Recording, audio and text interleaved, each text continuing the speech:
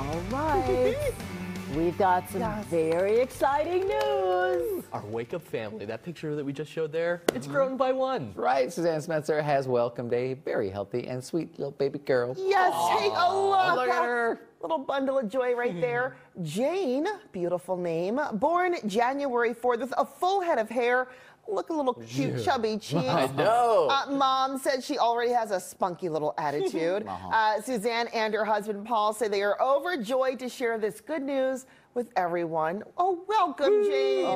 Welcome to the world. Welcome to the we Fox have 6 family. for her. Look at those eyes. Yes. Already knows how to find the camera. Yeah. Yep. Ah. She's like, who are you taking a picture of? Right? I love it. We've been waiting for this, oh, and I know Suzanne and Paul have too. It's Oh, finally here. You're a mommy girl. Yes. Welcome to texted me- 2023. Paul and I were texting. He was asking, "So when do we sleep?" And I said, "I think by my math, 2041." That's what there you go. I like that.